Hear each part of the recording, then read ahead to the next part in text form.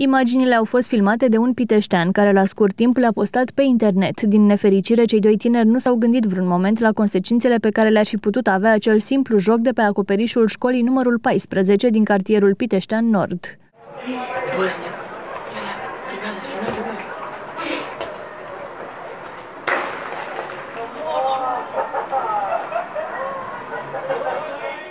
Despre isprava celor doi tineri au aflat și cadrele didactice ale unității de învățământ, dar și inspectorul școlar general, al cărui copil învață culmea chiar la respectiva școală. O anchetă a fost deschisă luni în acest caz.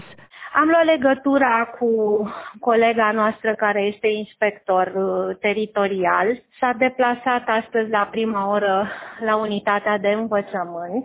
Bineînțeles că Acțiunea a fost preluată încă de ieri de inspectorat uh, și gestionată de domnul inspector școlar general. S-au constatat următoarele lucruri. Curtea școlii a fost încuiată și este permanent încuiată în afara programului școlar. Accesul celor care au jucat fotbal pe școală s-a făcut uh, sărind gardul și urcându-se pe scara de incendiu, care se află în exteriorul școlii și este obligatorie impusă de ISU. Scara se află la o înălțime de 2 metri de la sol, dar la fața locului s-a găsit uh, deplasat un tomberon. Deci copiii s-au urcat pe un tomberon pentru a ajunge să se cațere pe scară.